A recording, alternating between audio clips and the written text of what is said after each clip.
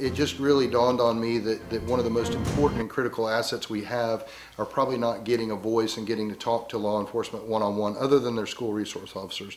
So I wanted to go talk to them about transparency and that the, the level of service that their public safety, not only the sheriff's office, but the municipalities in our county offer them. And also the recourse if they have a problem with law enforcement as far as the, the uh, level of accountability we have in law enforcement. There's going to be people that don't like that we give them a ticket. There's going to be people that don't like that we take them to jail or their family member to jail. But if you feel that you were wronged or a family member's wrong, there is a recourse for you. We demand professionalism. So if you were not treated professionally, we have, you have the ability to come get a copy of your report and then pull the body worn camera. Everything we do is public record. You can pull our body worn camera, you can watch what happened on scene.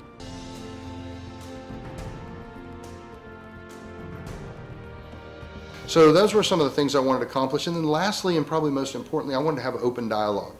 I used an app um, versus a hand-raising system because I wanted them to be anonymous. I wanted them to feel like they could have true autonomy when they asked the questions to me.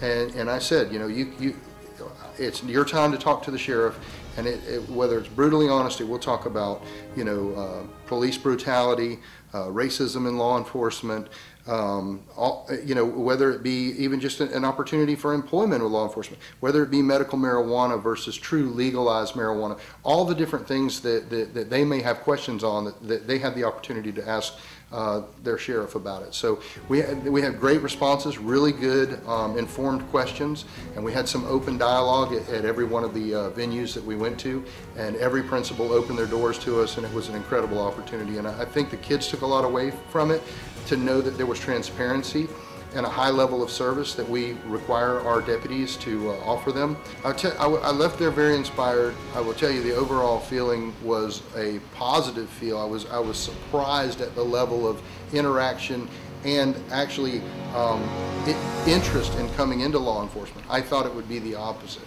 So I actually was pleasantly surprised at that.